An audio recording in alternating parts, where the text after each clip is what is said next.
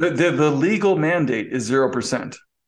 If you look at in the seven, when the Fed was given the dual mandate by Congress, it's it's zero percent is the mandate in writing. The reason, but the two and even Ben Bernanke has said recently, the two percent target was created by the Fed without the approval of Congress, and so Congress has because Congress has not challenged the Fed on this issue. The Fed has taken it as that's an implicit uh, you know, green light that the Fed can pursue at 2%. But the, the Congress has the right to say, no, no, no, your mandate is zero. Jesse Felder joins us today. He is the founder of Felder Investment Research, and we'll be talking about the major macro themes every investor needs to follow for this year and beyond. Jesse, big fan of your work. Uh, thank you for being here on my show, The David Lin Report. You've got your own podcast, you've got your own report, and you've got uh, a lot of other media appearances online so people can find out more about your work there. But happy to host you today. Thank you for being here. Hey, thanks for having me, David. I'm excited to uh, chat about markets and whatnot. Markets are volatile today, uh, as they've been in the last couple of days. And I want to talk about recent news first because it seems like the investors, or short-term investors at least, are reacting to the debt ceiling back and forth that we're seeing. Just today, or as we're speaking on Wednesday, uh, House Speaker McCarthy says that the debt ceiling talks are still hung up on the spending. As you as you know, two days ago, uh, President Biden, or three days ago rather, President Biden rejected the latest debt ceiling proposal, and um, you know it doesn't seem to be like uh, it doesn't seem to me at least they're reaching a resolution soon and their deadline is approaching. Markets are a little bit worried. Are you worried? Well, you know, I, am worried uh, less about the the possibility of them not reaching agreement, more about the the effects on liquidity. Uh, even if they do reach an agreement, when you look at you know something like the Treasury General account, just the you know the the, the Treasury's kind of working account, there's a really close inverse correlation with the S&P 500. So when, you know, the treasury is, you know, draining that account, that's a net positive for liquidity. When they're building up the treasury general account by issuing new treasuries that's a drain on liquidity. And what we've seen is you know through this you know process of hitting the debt ceiling and seeing the treasury general account be essentially drained over the last few months it's been net positive for liquidity. But you know, let's say they get a deal done and then the Treasury has to go issue. I mean, estimates are, you know, well over a trillion dollars of new Treasury bills just this summer. Uh, that could potentially be a significant drain on liquidity uh, with them building up that Treasury general account again. That's not bullish for uh, for risk assets and competing assets generally. But you were talking to me offline. This speaks to a larger fiscal problem that the U.S. is facing. I mean, the U.S. probably faces several fiscal problems. Which one are you alluding to? Well, I, am just talking about the, the trajectory of the the deficit, right? Um, you know, this is the the during this economic recovery in the post kind of after the onset of COVID, um, it's been the worst fiscal recovery that we've ever seen um, in the country's history, right? We went from a massive deficit to uh, about 5% deficit around 5% of GDP at its best, and it's now widening again towards 6 7%. We've never had an economic recovery that's seen the deficit, um, you know, have such a poor uh, recovery, and so we had an opportunity to to you know kind of get our fiscal house in order, um, and we, we didn't really take that opportunity. Uh, you know, and so I think you know Stan Druckenmiller gave the commencement address at uh, you know USC's business school you know, just about a, I don't know a few weeks ago, and he had a perfect metaphor. He said everyone's staring at the debt ceiling is like standing on the Santa Monica Pier, looking out at a big wave that's rolling in, you know, 10, 20 foot wave. Meanwhile, behind that, behind the debt ceiling, is a, massive tidal wave that's that's on the horizon coming in, uh, you know, well behind it and that represents the the, the widening um, deficit situation where we're we're at the point where uh, you know it, we shouldn't be seeing a widening deficit during an economic recovery. That's where we're at, and uh, it's going to take eh, the fact that we can't even agree on minor changes to you know the fiscal structure without having a complete breakdown in the government is not a good sign for you know uh, the much bigger reforms that need to happen in order to to fix this bigger bigger fiscal uh, crisis that we're headed for. Uh, earlier in the year, in March, the uh, the White House did release a budget reduction, a budget deficit reduction plan. They plan to reduce the budget deficit by nearly $3 trillion over 10 years. This is a very extensive document. Uh, but basically, we can sum it up as increasing corporate taxes, increasing taxes on wealthy, and including billionaires. Uh, generally, uh, you know, it's a lot of tax raising and cost cutting on, on on on several fronts. Do you think that the budgeting priorities for the government will shift dramatically over the next few years? There's no no chance of it, right? I mean, the fact that the the negotiations we've been watching over the last week or so are, are I think, an indicator that there's just no hope of a bipartisan agreement on on on fixing the fiscal problems that we face. And and the reason is when you look at what is the real driving force behind the deteriorating fiscal trend, it's really uh, Social Security and Medicare and and these types of things. And neither party wants to touch those. And so, so long as that is the case, that neither party will touch uh, entitlements, the, the deficit's going to be on a widening trajectory for as far as the eye can see. Uh, it's just that that's just the fact of the matter. And so, you know, I mean, I've I've seen studies that show you could literally tax the, the wealthiest one percent in the country. You could put implement hundred percent income tax, and you're not going to fix these problems. You could cut discretionary spending dramatically, create a significant recession. You're not going to fix these problems. It, you have to reform entitlements somehow. And because neither party is willing to do that at this point, we, you know, that's why there's this tidal wave on on the horizon. I've heard, and please add or correct me if um, if you like. I've heard that there are different ways that the government can raise money. Taxation is one. Uh, direct revenues from government-owned companies is one. Inflation is another. Am I missing any, Jesse? You know, yeah. I mean, I who knows, uh, right? There's there could be a lot of creativity, you know, and how to, how to raise revenue, but I just don't. I you know, I, I think if you what we did, what ended up happening during COVID was we implemented MMT, right? We we went down the modern monetary theory path. Now, MMT tells you if you get inflation um, as a result of implementing MMT, there's a real easy fix, and you have to raise taxes to the point that brings inflation back down. That's MMT's remedy. Now, obviously, uh, you know, federal government's not willing to do that, and which is why MMT is so dangerous. Because it's very easy to say, okay, implement you know as much uh, as much deficit spending as you want until inflation rises as long as you're willing to raise taxes enough to rein in that inflation. Because i don't think that the fed can can do it on its own. You need some fiscal help in reining in this inflation problem. But if the fiscal authority is not willing to do that then that means inflation is a bigger problem potentially than the central bank can can address alone. Is there a relationship between the widening deficit and inflation. Can we, which is to say that if inflation, sorry, if the deficit widens, like you're anticipating it to, yeah. uh, will we also see inflation rise as a result?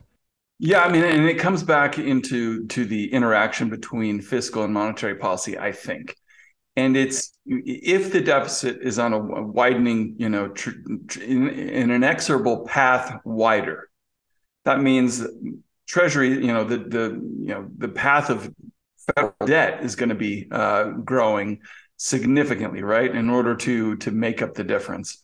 Now you get to a point where there's too much debt uh, and there's not enough buyers out there, and so I think the markets start anticipating that the Fed will be forced to monetize that debt, and so it comes really comes back to the Fed's balance sheet. That Ben Bernanke was asked in 2010 or 11 um, by Con- when he's testifying in front of Congress uh, you know, why is quantitative easing not money printing? And he said, well, it's not money printing, and I'll tell you why. I said, this is a he said this is a short-term measure to support the economy, and when we normalize the balance sheet in relatively short order, that's how you'll know this wasn't money printing. Right? He said that over a decade ago, and the balance sheet hasn't been normalized. So by Ben Bernanke's definition, what the Fed has done has been money printing, has been monetizing the debt. And so, to the extent that the Fed is unable to normalize the balance sheet, I think is a clear signal to markets that the central bank is now being forced to monetize increasing amounts of debt at the federal level.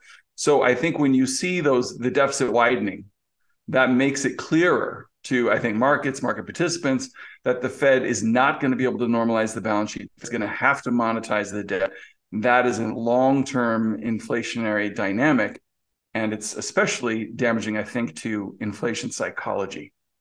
So monetizing the debt would mean they're expanding the Fed's balance sheet. Does that necessarily also imply that the uh, money supply, let's say M2, would also increase? Yeah, absolutely. Right. I mean, we've seen M2 decline, um, you know, as part of the Fed's reversal towards hawkish monetary policy. Right. I think we're seeing actually the steepest decline in M2 in a, in a very long time. Um, and that's that's basically a reflection of the the reversal in monetary policy. But uh, you could argue that uh, you know back in March when Silicon Valley Bank we started having some some of these banking problems and the Fed extended its balance sheet to you know uh, try and calm uh, markets and and offer uh, emergency funding to a lot of these banks that was potentially a reversal in their uh, you know hawkish trend in the balance sheet in the in the reduction of the balance sheet. And to me, that was the first sign that the Fed can't normalize balance sheet. They just can't do it.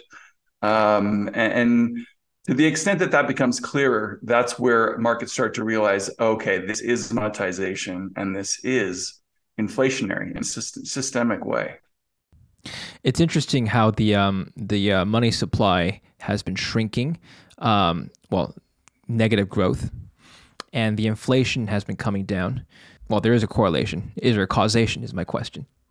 Well, I mean, inflation is such a you know uh, there's so many moving moving parts and and you know it's really difficult to nail down what drives what but I, I do think that you know my friend john hussman recently pointed out that what paul volcker was most successful in doing was restoring confidence in monetary um, uh, just sanity, monetary sanity. That the Fed the Fed was willing to do whatever it took to to normalize the balance sheet back in you know forty plus years ago.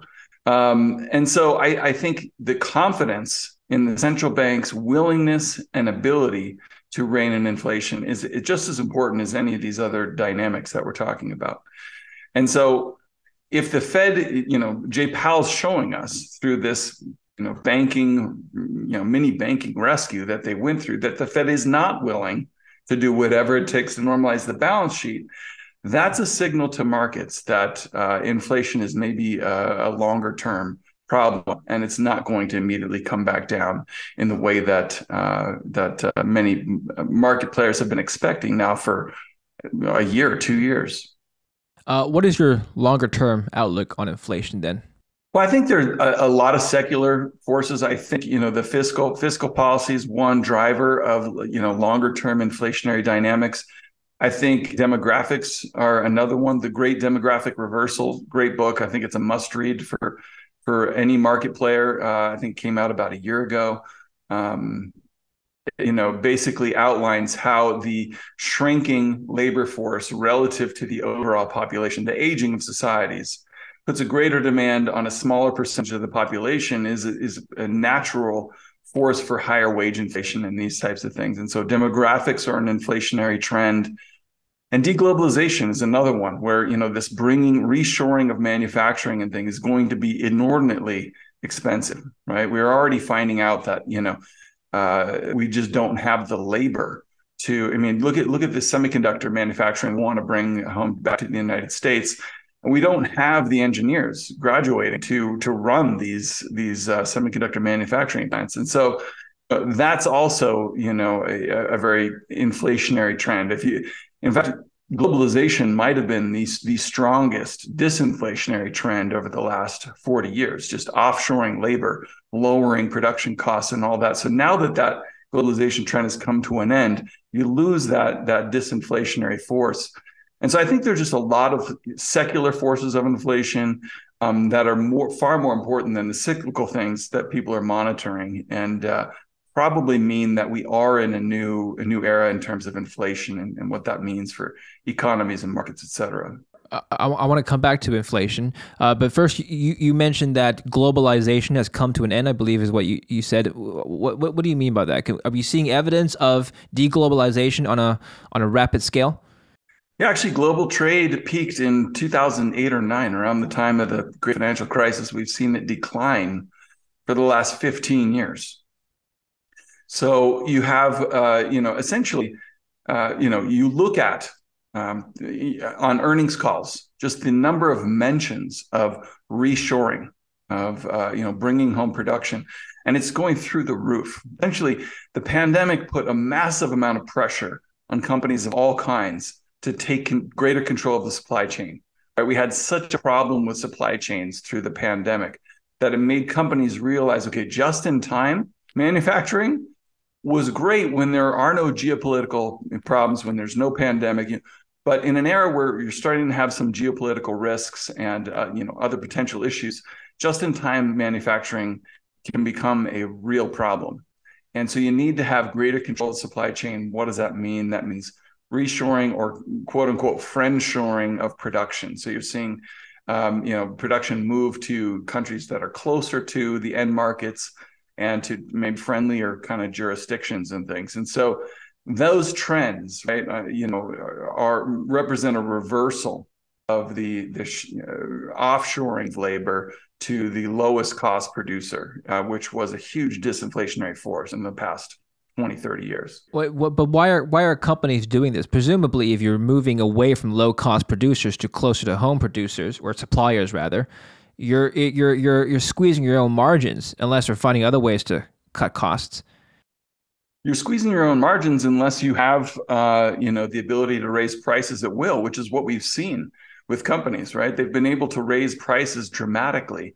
And you could argue that's one of the other important drivers of inflation is the the uh, the the narr- the, the uh, lack of competition that we've seen in the economy. Right, in the last forty years, we've had you know Chicago School of Economics and uh, a different school of thought in terms of antitrust policy, where we've allowed massive consolidation across a number of industries, where maybe you don't have monopolies, but you have duopolies and maybe two or three companies that own different markets. And so they you know that's what we've seen is that that lack of competition that's been you know created in the last 20 30 years also has allowed companies to raise prices at will because they, there's very you know little competition a lot less competition for goods and services. So so yeah it, uh, all of these things i think work together to create a more inflationary dynamic when we talk about the, the, incentives, going back to the incentives again, is there a political incentive to move production or supplies back closer to home? Uh, is there an economic incentive, or is it simply an issue of security and and self reliance? I think it's a little bit of everything. I, I think that um, that you know there's political incentives now uh, with the Inflation Reduction Act and all types of incentives to to bring production back home. That's really kind of the zeitgeist now. Is uh, you know companies are are looking at you know, if, do I have production do I have in China right? We have uh, the sentiment towards you know American Chinese relations you know has been deteriorating. Um, Donald Trump, it's continued through the Biden administration and so I think companies are looking at okay, what type of risk am I taking, existential risk potentially, by having the majority of my manufacturing in China? Um, and that's a th- something they haven't had to think about until the past several years. Then the pandemic made those risks even more apparent. And so I think you have companies that are starting to look at this. I mean, even Apple has you know 90% plus of its production in China and they're really trying to move move as much as they can to, to India and other places without upsetting the Chinese authorities. Um, but I think that you know other companies have a little bit easier time of it, and and uh, you know are doing it in a more dramatic way. But but if even Apple is doing it, and Apple's really been poster child of this this trend, um, then it then it's a sign that this is this is a, a, a major impetus for companies in every in every sector of the economy. Uh, so then, long term, do you think that the Federal Reserve will be able to succeed in its mission to bring inflation down to its two percent bound? I don't think they'll be able to do it without fiscal help.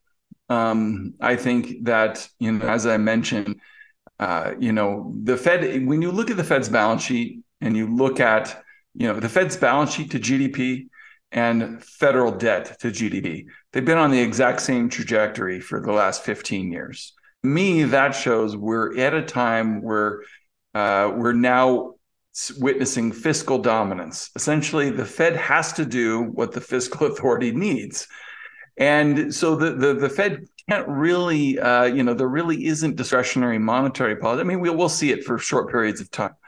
But we're going to reach points in time where the Fed is going to be forced to come back into the market, uh, probably implement yield curve control, something along those lines, because the markets won't be able to function without that added demand from the Fed stepping into the Treasury market. So, I, you know, I think you're going to need some kind of fiscal reform longer term in order to to really uh, make a dent in the, the secular forces of inflation that we're seeing now. Uh, what does yield curve control look like in terms of the Fed funds rate and uh, and, and and Treasury yields?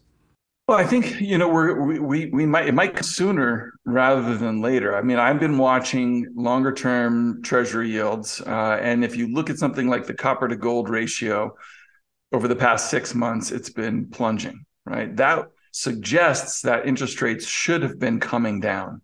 They've been doing the opposite over the last couple of months, which tells me there's something going on. Right, if you have copper to gold ratio going down, telling you economy's weak, rates should come down, and they're not doing that.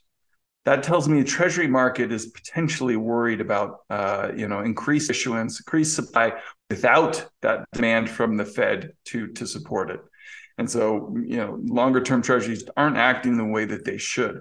Now, we let's imagine we get a, a, a compromise, raise the debt ceiling, and we get a flood of new issuance of Treasuries uh, if rates continue going up, even as the economy continues weakening, I mean, and there's tons of science, leading indicators pointing towards recession. You get rates going up, even as you get closer to recession, that could pretend that trend, you know, if it does, if it continues, becomes really problematic for the Fed, right? You cannot have an economy going into recession, and interest rates going significantly higher. I mean, if you get back above four percent on the ten year, as it gets closer, as we get closer to the recession that's going to put, a, I think, a great deal of pressure on the Fed to to uh, look at you know using the balance sheet in some way to to affect the interest rates across the curve. So.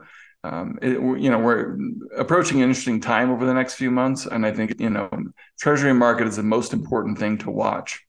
Okay, yeah, let's talk about this uh, outlook for the next couple months. Is this looming recession the number one risk for investors right now, or are there other risks? I, you know, I, I, think it probably is for equity investors because, um, you know, equities are pricing in a significant rebound in corporate earnings growth, right? So if we get a recession, earnings are earnings are going down, right? Earnings are going to go down. Earnings go down twenty percent, you know, in a recession. The fact that earnings stocks are now pricing in analyst estimates, which show about an eight percent increase in earnings by the end of the year, that's that's you know the gap there creates a real problem, I think, for equities. Uh, and so if we if we're heading into recession, as I think we are in the second half of this year, that could be catalyst for you know uh, return to the bear market for equities. By I'm guessing the order of around 20% uh, correction of the S&P 500 if we were if we were to apply the same earnings correction. You know, it, it, could be it could be significantly more than that, just because stocks have have, like I said, priced in now priced in earnings growth through the end of, end of the year. If we do get an earnings decline instead of growth, um, you know, it it could be uh, you know a steeper decline than than just the you know twenty percent. Um, you know, I, I, think probably we'll test those those lows on the S&P 500 that we saw, you know, in October of last year, and uh, you know, f- from that point, um, it'll really depend on what the what the economic prognosis looks like.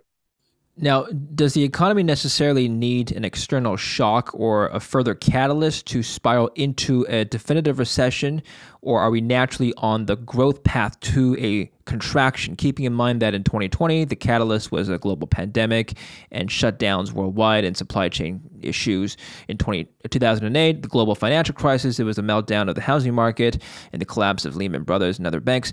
What would need to be the catalyst this time? Do we need one?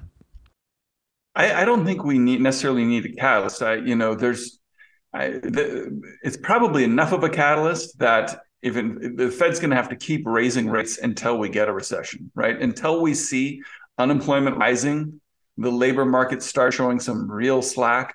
The Fed's going to have to at least keep rates where they are, if not keep keep raising. Um, you know, and and the stock market always reacts poorly to seeing uh, rising unemployment. Right? That that is you know your your hard and fast you know recession indicator once you start seeing rising unemployment. And and so uh, I don't think we we need anything. I mean, the, the, I'll tell you the two major indicators I've been looking at for the last uh, you know few years, and that's just a composite of the dollar, uh, interest rates, and oil prices. When that composite goes up dramatically, it is about a, a two-year lead for an earnings decline. Um, you know, uh, later on we've seen the oil price go from negative right to about just about a year ago well over $100 a barrel we saw interest rates go from 50 basis points on the 10 year to 4% right on the 10 year not too long ago we saw um, uh, you know the dollar uh, strength um, very significant as a part of this hawkish reversal monetary policy. So this composite suggests that we can we're going to have a uh, recession in the second half of this year uh, almost without fail and it's a really good leading indicator for earnings. At the same time another interesting indicator i don't really know anybody else who looks this and this is basically the insider sell to buy ratio i'm just talking about executives and directors at, at companies um, you know american publicly traded companies that is also a really good two year lead on the economy um, and we saw such massive insider selling in 2021. I mean, bigger than anything we've ever seen before. That suggests that two years later, you know, from that fall of 2021 time period when that sell to buy ratio peaked, you're going to see a very weak uh, economic period, and that's actually a good, uh, you know, uh, buy signal too. So when you see a lot of insider buying, very little selling, that's a really good positive sign for the economy and and for the stock market two years later we still really haven't seen a lot of insider buying yet. We've started some of it has picked up, but I'm waiting for that time to see where, where insiders really step in and get confident that they're seeing a low in their business and that stock prices are too low. Um, you know that that could be coming in the next few months, but we haven't seen that yet. It's it's interesting because as these things happened that you described, inflation still persisted. I mean, the inflation rate was coming down, but prices were still going up because we had inflation, not deflation. Normally, in people's minds, we associate higher prices with economic growth, but it wasn't really coupled with strong growth outlook, right? That the inflation was there for other reasons. Yeah, and I think you know that's that's something that maybe people don't necessarily appreciate because we haven't seen inflation for a long time is that when you look back to the mid 70s, that 73, 74 bear market and recession, um, nominal GP growth, even at the worst point of that recession, nominal GP growth was still growing 5% per year. But it was a recession because inflation was running hotter and unemployment rose and all the other things that NBER uses to define a recession. So, you know, just because nominal growth still looks good doesn't mean you can't have a recession. And I think that's kind of what people have in their heads is they think that, you know, look back to the great financial crisis or even the COVID crash, you need a decline in nominal figures in order to get a recession. And I don't, I just don't think that's the case. You can have a stagflationary type of environment where maybe nominal growth is still is still rising, but uh, not as much as inflation. Do you think recession, or this coming recession, will cause deflation? You know, it, it really depends. I think on um, the the speed uh, of uh, you know any correction in asset prices.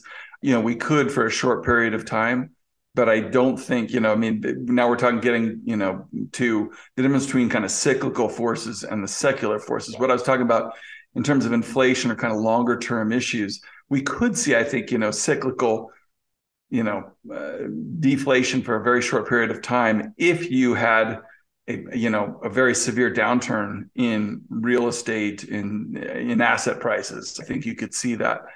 But um, if without that kind of like a, a crash, I think it's difficult to see outright deflation. I wonder if it's in society's interest for the central bank to target a 0% inflation rate or perhaps even a 1% deflation. I mean, what would that imply? Presumably, people want their living standards to increase if everything becomes cheaper. I mean, that's just a very simplifi- simplified version of things, right? But what, what do you think? Yeah, I mean, you know, um, Jim Grant has you know made this point before that we've experienced as a as a country we've experienced deflation in the past where it, it wasn't a bad thing in, in, any respect. It's only bad for for debtors, right? and and right. this is the problem. This is why the Fed cannot allow for for deflation is because the debt is so large that if we do see a deflationary period, that means debt in real terms is growing even faster. And so, so you know, yes, I, I agree with you. I think you know, deflation not necessarily a bad thing. And in fact, as my friend Tom McClellan points out, the Fed's mandate is zero percent inflation.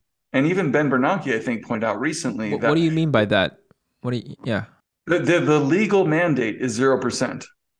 If you look at in the seven when the Fed was given the dual mandate by Congress, it's it's zero percent is the mandate in writing. The reason, but the two and even Ben Bernanke has said recently, the two percent target was created by the Fed without the approval of Congress, and so Congress has because Congress has not challenged the Fed on this issue. The Fed has taken it as that's an implicit uh, you know, green light that the Fed can pursue at 2%. But the, the Congress has the right to say, no, no, no, your mandate is zero.